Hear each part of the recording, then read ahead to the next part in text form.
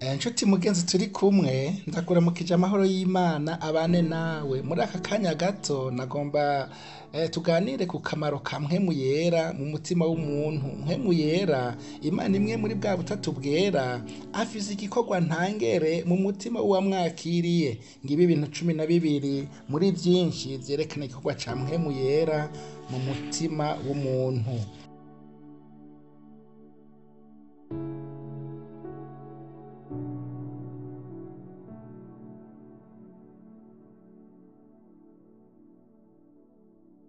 Ubwa mbere mpemu yera ni umuvyeyi ni umurezi.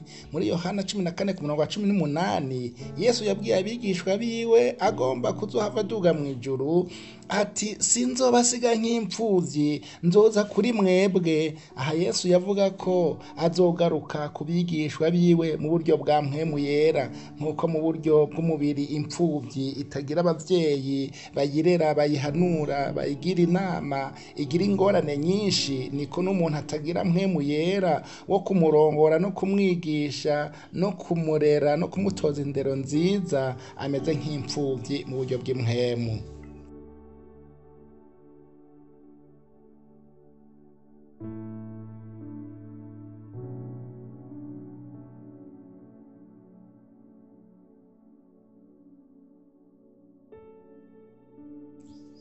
ubugira kabiri mpemu yera arahinyuza abantu kugira ntibifate uko batari. Mpemu yera ntiwomuhenda ntaco womunyegeza ni we kuri. Yohana cumi na gatandatu ku murongo w'umunani.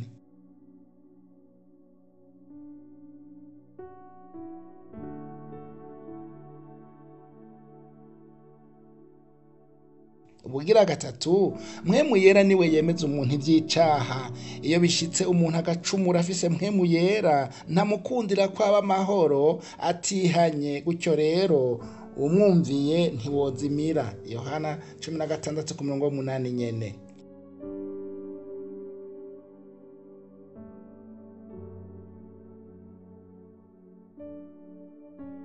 Ubugira kane mpemu yera aremeza umuntu ibyo kugororoka. Nta kundi kugororoka kuriho atari ugushinga ibintahe na mpemu yera ni cyo gituma umuntu afise mpemu yera yama yumva akwiye kwezwa iminsi yose kugira ngo ase n'imana.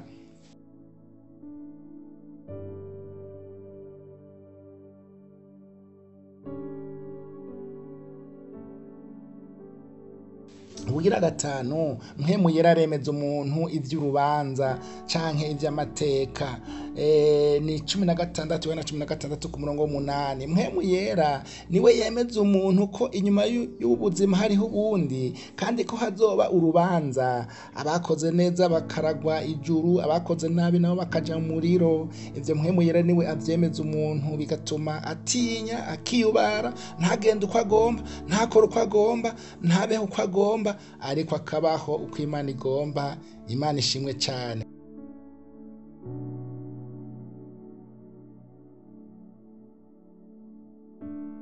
Ubugira gatandatu mpemu yera ni umurongozi yereka umuntu inzira nziza. Yesu yabwiye abigishwa biwe ati uwo mpemu w'ukuri niyaza haleluya azobarongora abashitse ku kuri kwose. Biri muri yohana cumi na gatandatu ku murongo wa cumi na gatatu. Ufise mpemu yera rero ntazimira kandi ni umunyakuri.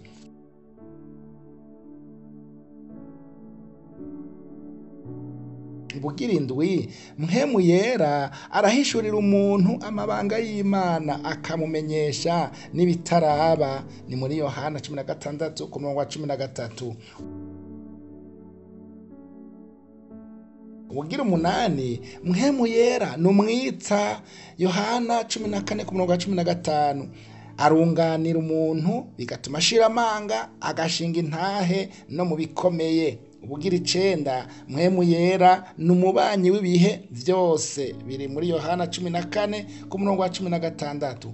Ugwaye ushonje ukenye eka uko umerewe kose n'uko uri kose ntaguharuruka ushima azohemuka agushikanye mu ijuru. Haleluya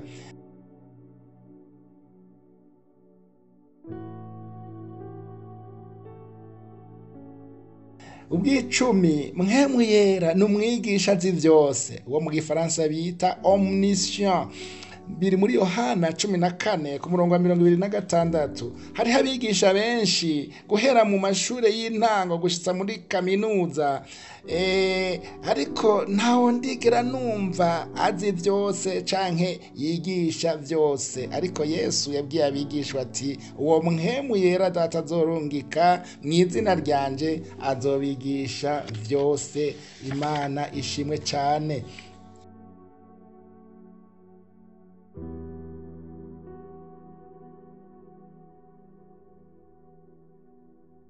ubw'icumi na rimwe muhemu yarakora igikorwa cyo kwibutsa tubibona muri yohana igice cya cumi na kane ku murongo wa mirongo ibiri na gatandatu. Muhemu yera aributsa umuntu ibyagezwe by'imana akamwibutsa amasezerano y'imana kugira ntadende bukigwe cyangwa ngo akekeranye asubire inyuma.